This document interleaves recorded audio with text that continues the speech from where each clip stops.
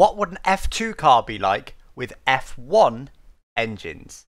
So somehow I've not done this mod before then. I've done an ERS mod before. I've given an F2 car uh, ERS system. But I've not done a full engine mod where we literally take a Mercedes engine, put it in an F2 car, and go out on track and see how it is. I don't know how I haven't done this before, but here we are anyway. Do subscribe as well if you like this kind of video.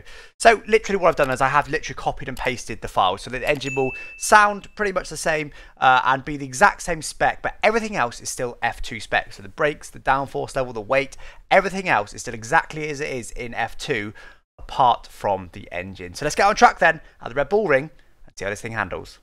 Right, here we go then out on track here. You can see here it does sound like a Mercedes engine, as uh, as I hoped. I've not driven this thing yet, and unfortunately the, it's not possible to adjust the uh, the uh, rev meter at the bottom there. That'll always be looking. Also, there's a, still a turbo noise for some reason in the background.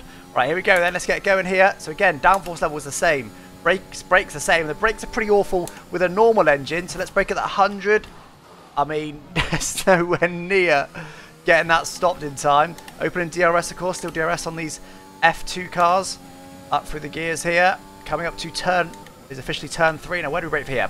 120 metres. That was about right. These braking zones, that's going to be the biggest difference, actually.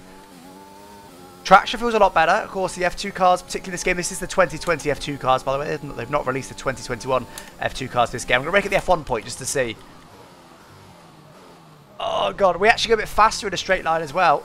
Because uh, because these, uh, these these cars have not got much drag. They've got, of course, quite a lot less downforce than a Formula 1 cars. They've also got less drag. When, you're in the corners, they just feel like an F2 car. They sort of feel alright. Force feedback all feels kind of what, what you're used to in a normal F2 car, but then it's when you get to the exits, well, the traction's actually easier. Of course, F1 engines have got a really smooth traction curve. The F2 cars have got quite a lot of turbo lag. But the brakes are definitely the biggest thing to adjust to, because not only the brakes bad to begin with on an F2 car, oh, but we're going so much faster in a straight line. Off the track there, doesn't matter. Open DRS here. It is indeed open. Right, what sort of speed do we hit down here then?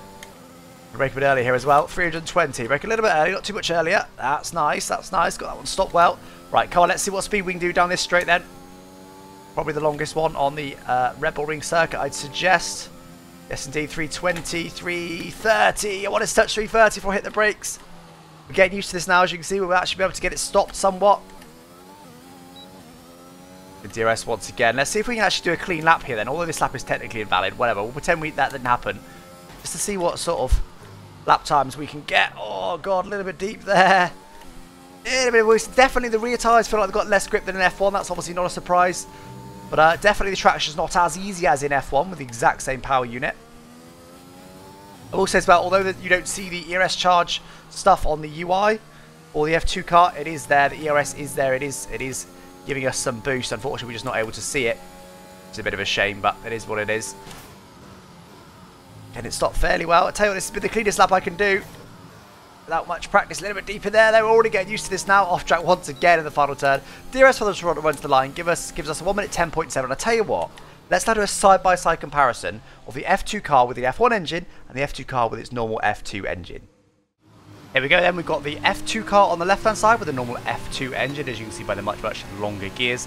On the right hand side we've got the F2 car with the Mercedes F1 engine. So coming to turn 1 and you can already see quite significantly far ahead, already what I'd say about half a second or so ahead at the apex of turn 1 just from one straight. I sync them up as they cross the start finish line by the way so we can keep an eye on that. Uh, for the gears of course 8 gears in the Formula 1 car or the Formula 1 uh, powertrain on the right hand side, only 6 on the left about 320k I think it was, but only 290k also, I think actually I think it's more like 330k on the right hand side. So about 40 kilometers an hour difference as we hit the brakes. So DRS open once again then for the run down to what is really turn three, but I think it's officially turn four. These laps are actually quite similar, uh, apart from the straight line speed, of course. So the main time difference you're going to see is going to be straight line speed. Some uh, corner performance, they are obviously the same car. Also, I put in quite a similar performance. And you see how how far ahead the F1 car is on the left hand side. And actually, interestingly, the F2 is a lot easier to drive. The, the, the F1 engine in the F2 car, it all just comes at you so fast. Before you know it, you haven't to hit the brakes because the braking zones are so much longer, the corners are so much slower.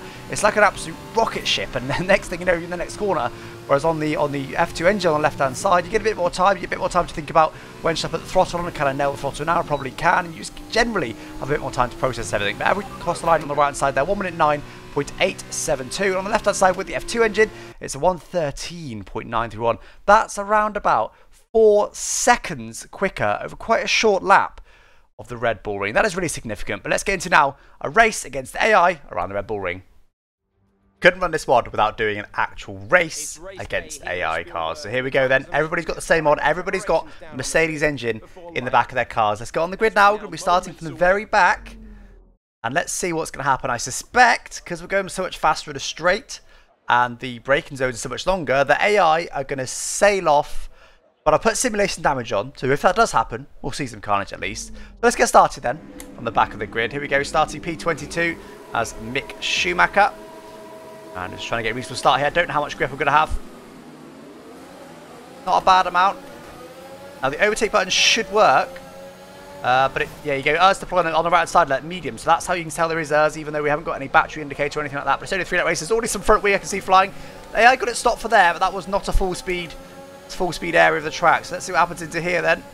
Trying to look ahead here to see if they're all going to fly off or not, or are they all going to get it stopped in time. We're going to do... Tell you what, they all got it stopped in time. Oh, we almost didn't get it stopped in time. Got pushed right over there by Louis Delétraz. Thank you, Louis. Appreciate that, my friend.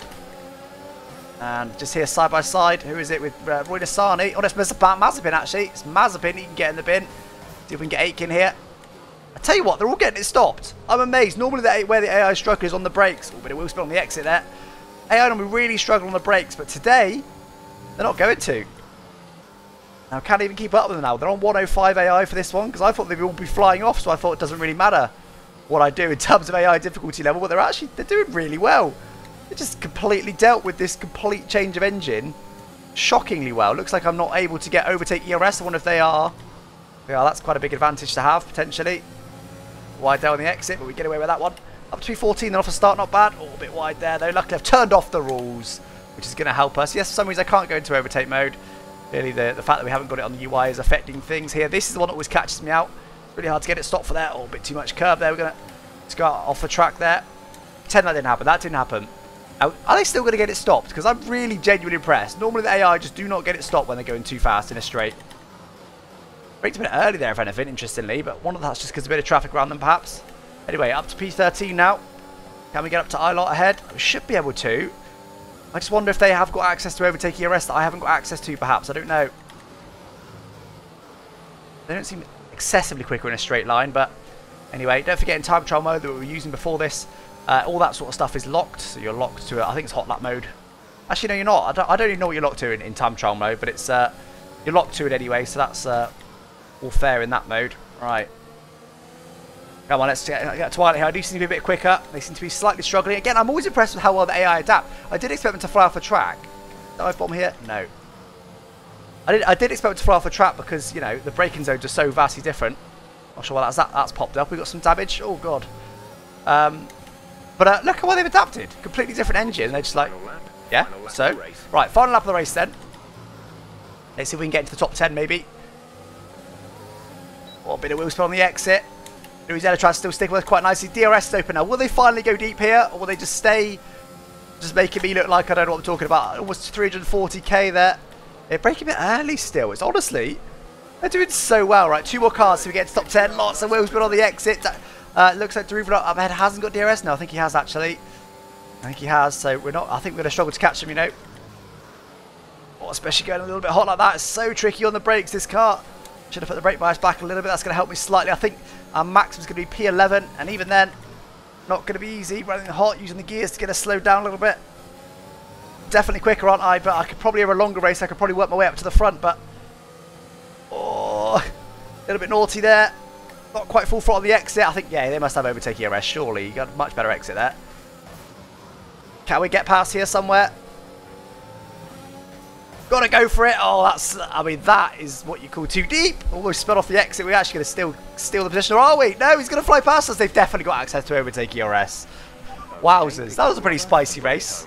And uh, shame we didn't have access to the proper ERS modes, because that would have definitely livened that race up a bit more for us. But again, I'm impressed. AI handled that quite well, and actually we just had some quite good racing, didn't we, there?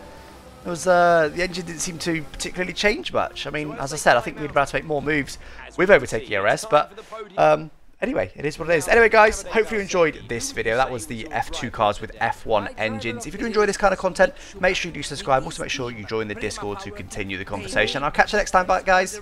Bye-bye.